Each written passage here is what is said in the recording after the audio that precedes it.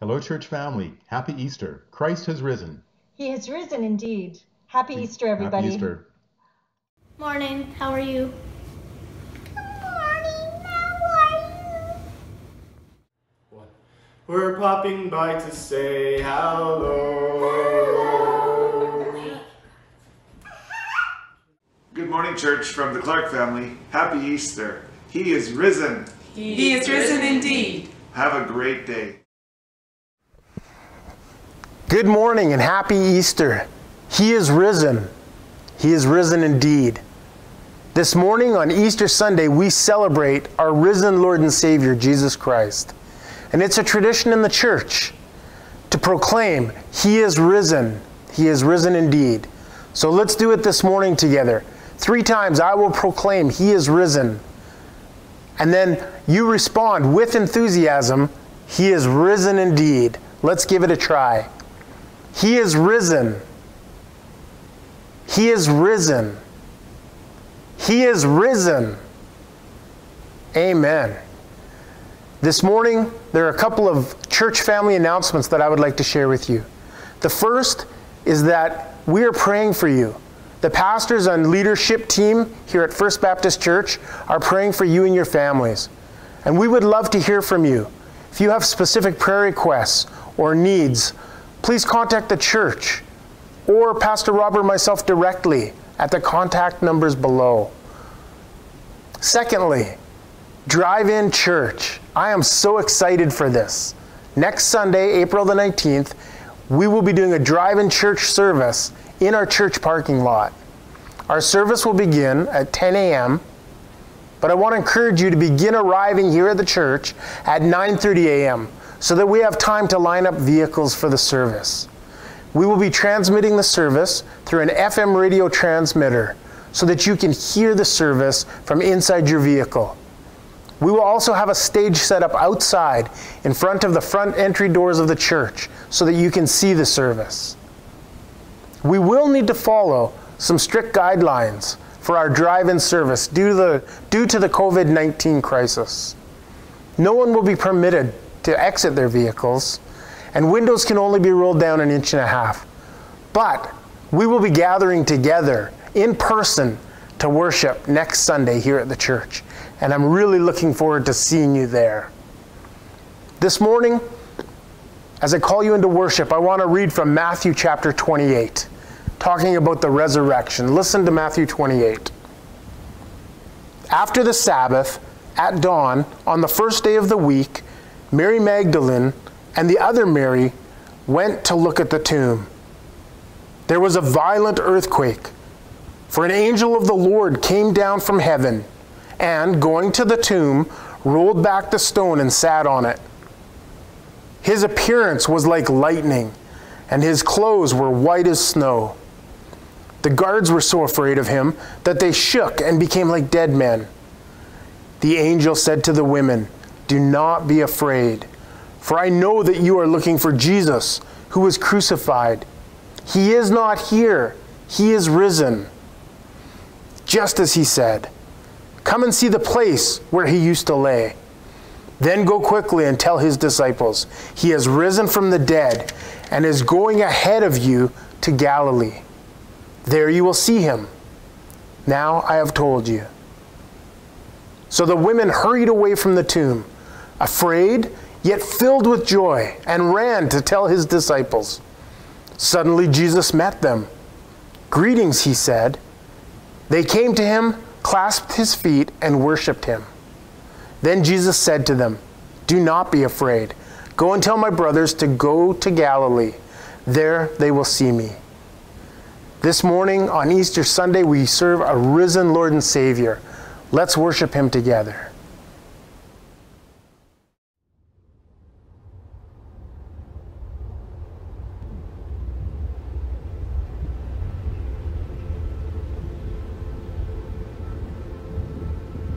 We believe in one God, the Father, the Almighty, maker of heaven and earth, of all that is seen and unseen.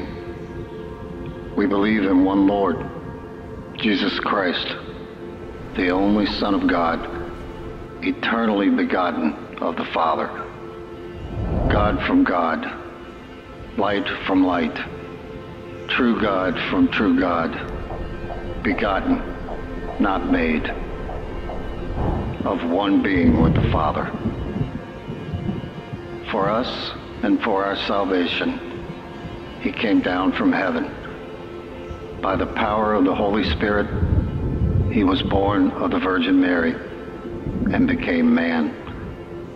For our sake, he was crucified under Pontius Pilate. He suffered, died, and was buried.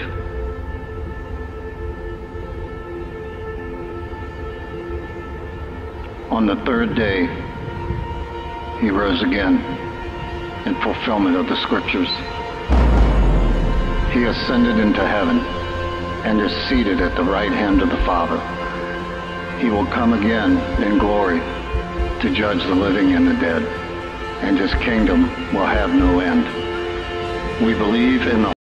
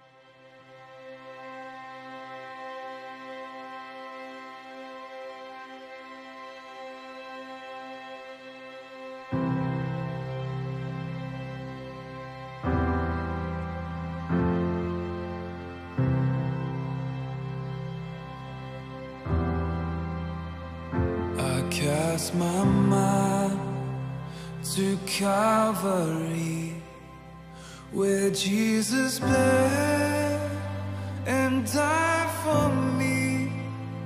I see his wounds, his hands, his feet, my Savior on that cursed tree.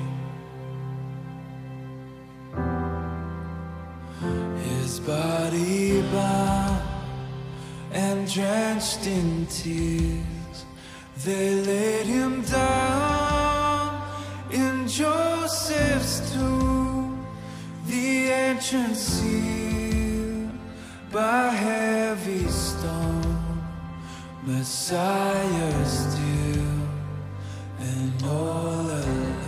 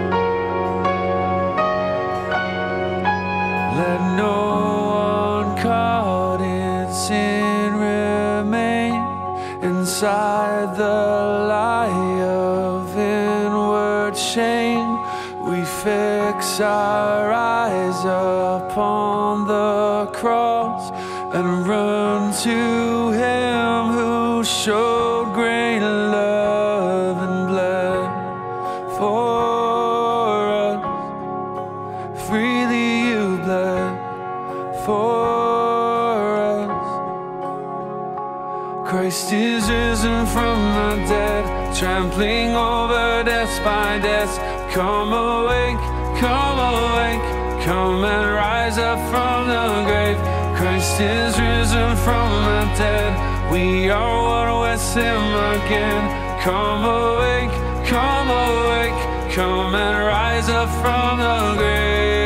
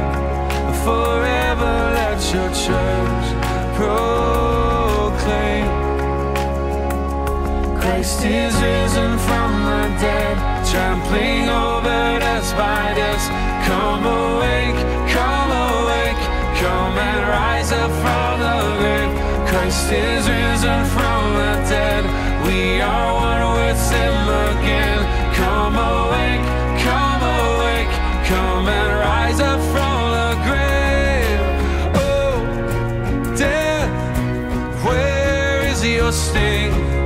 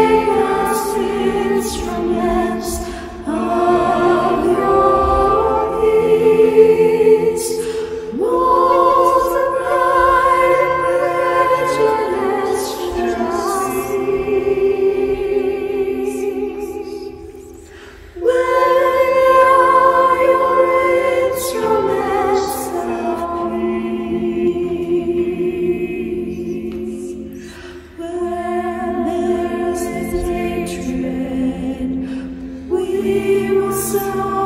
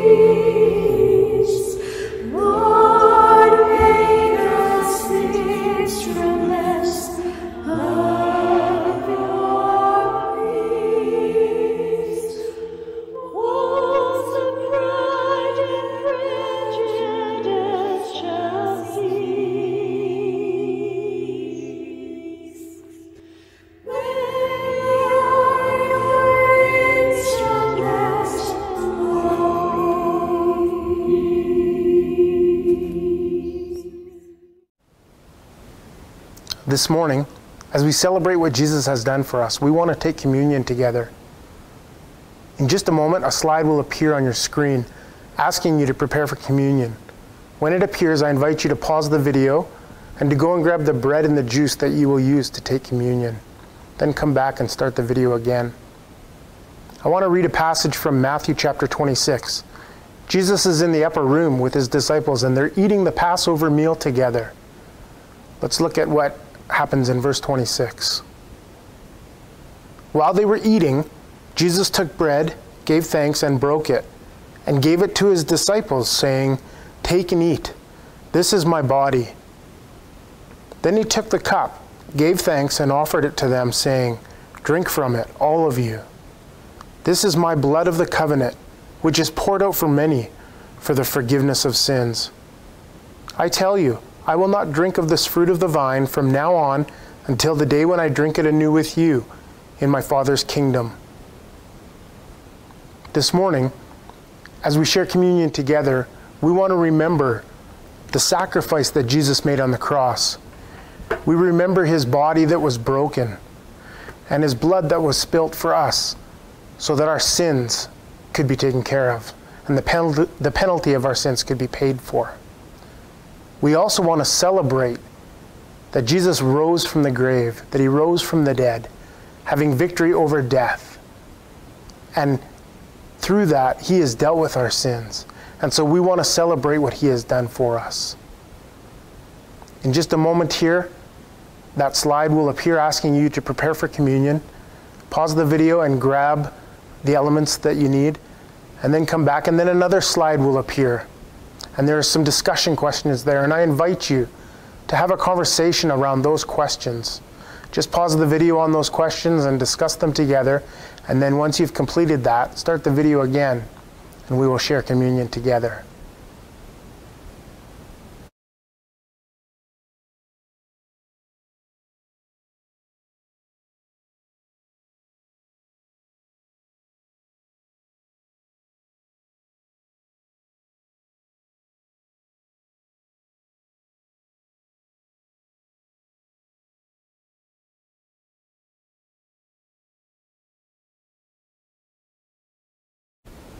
This morning, as we take communion together, I want to give you an invitation.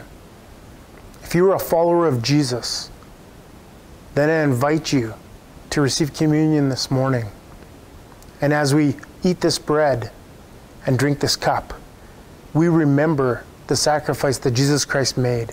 And we celebrate the fact that Jesus rose from the grave, paying the price and the punishment and the penalty for our sins so that we can be in right relationship with God. And this morning, if you would say that you're not a follower of Jesus, maybe you're just curious or seeking or wondering what it means to follow Jesus and to know God, then I want to invite you to participate by just observing and watching as we take communion together. And I want to ask you to consider what is stopping you from giving your life to Jesus and choosing to be one of his followers. I invite you to take the piece of bread. This bread represents Christ's body, which is broken for you and for me. Let's eat in remembrance of him.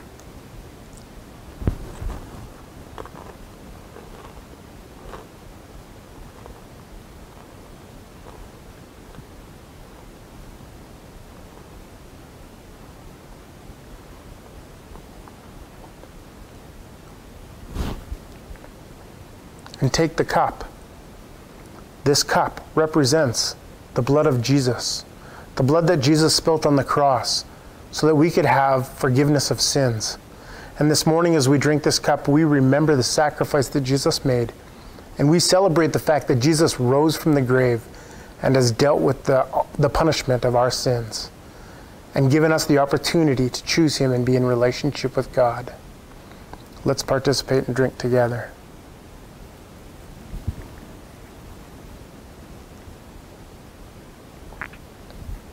Pray with me. Father God, this morning we remember and we celebrate and we identify with you.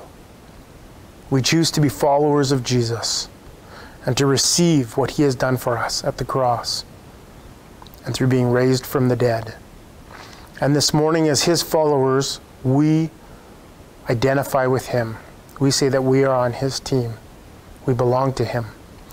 And this morning, we're so thankful and grateful that you have made a way for us to walk in right relationship with you. And we give you thanks in Jesus' name. Amen.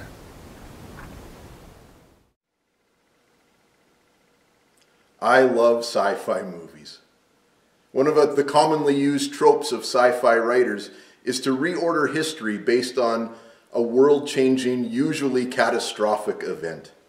And so in sci fi movies, you often get 50 days since launch or landing. It's been 13 days since infestation, meltdown, or infection. I've caught myself in recent days in talking about the passage of time, trying to do the same with my life. So I've referred to it as the 21st day of COVID, or we're on isolation day 16. One of the things that we can perhaps understand about what we're going through is that it likely won't have that kind of world reordering kind of significance. Few of us can probably state how many years it's been since the last pandemic. Fewer of us can probably state how many years it's been through to other major world events, the launch of satellites or the landing on the moon. In fact, there are very few events that cause us to rewrite our calendar. And for the Western world, there's only been one. It's the only one that's, re worth, that's really worth rewriting our calendar over the arrival of the person of Jesus Christ. Through a system created in 525 by Dionysius, we began BC and AD, before Christ, and Anno Domini, or in the year of the Lord. Now, some in academia have argued that this system is too Western based, that it's too based on Christian countries and ideas. And so they've argued to change it to before Common Era and after Common Era to reflect how few countries were actually affected by Christ. But those of us that are believers believe that, we've, that they've missed the point.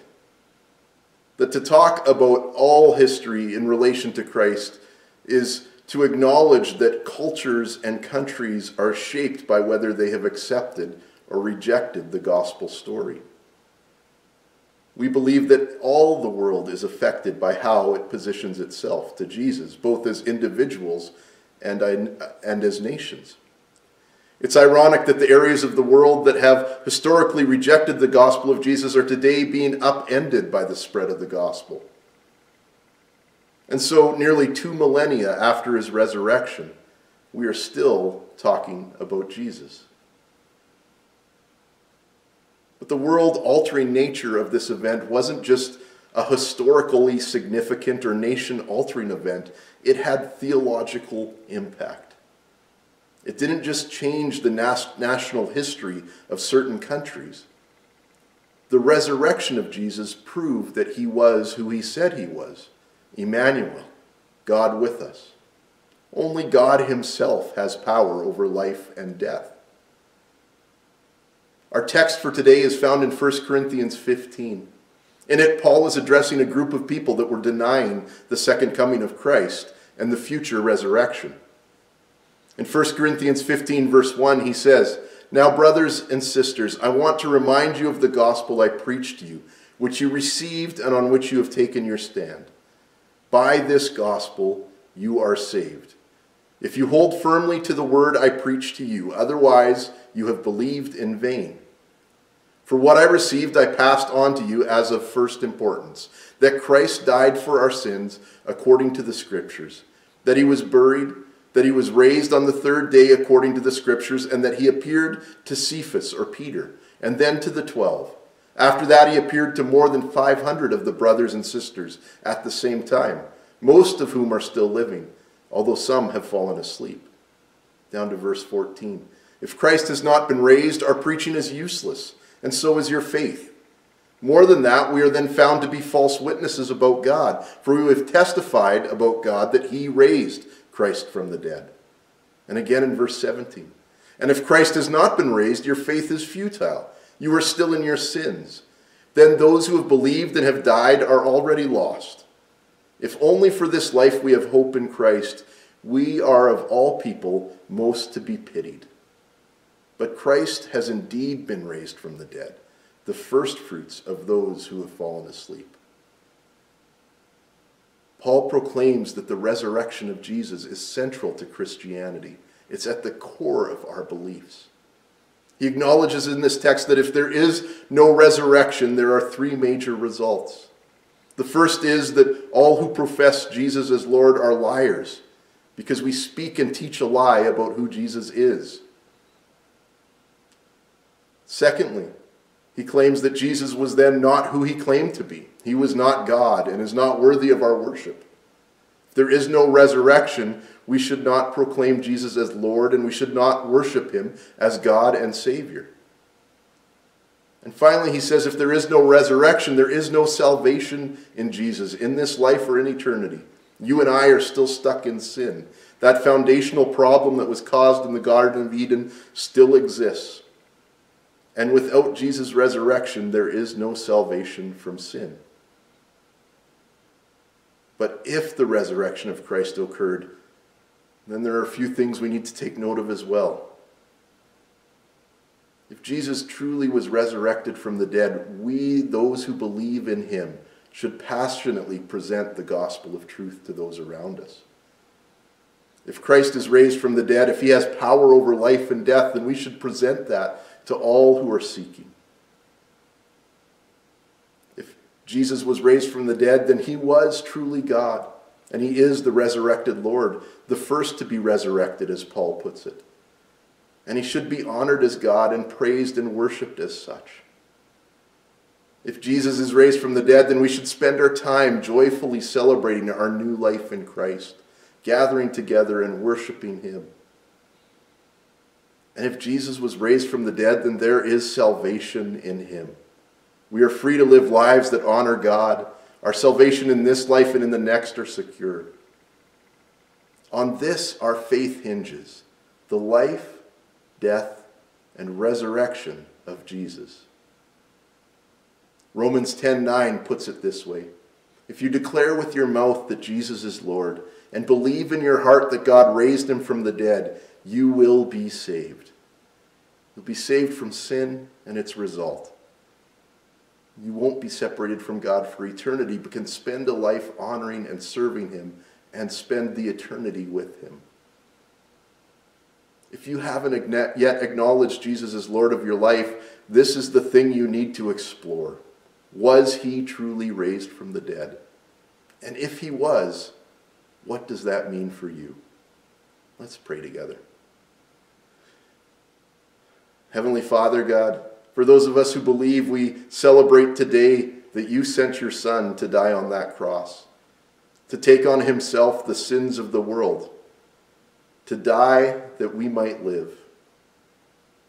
Lord, in your righteousness, you demand perfection, and we as humanity are unable to live up to that standard.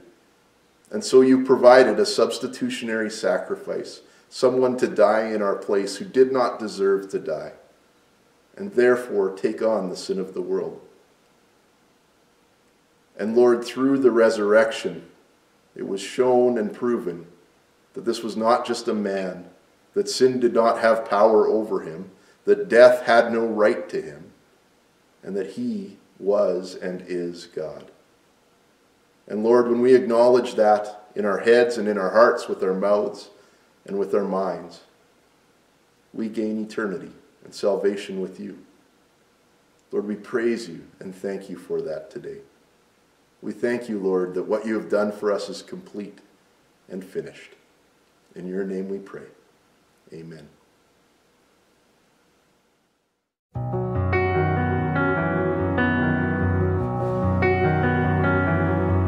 Do you feel the world is broken?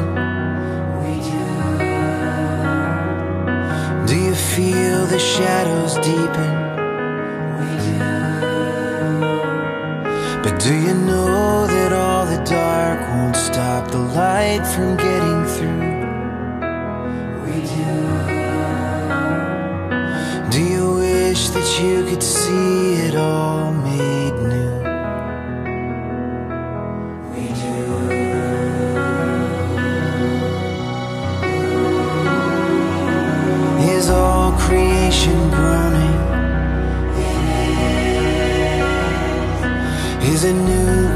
creation coming? Is the glory of the Lord to be the light within our midst? Is it good that we remind ourselves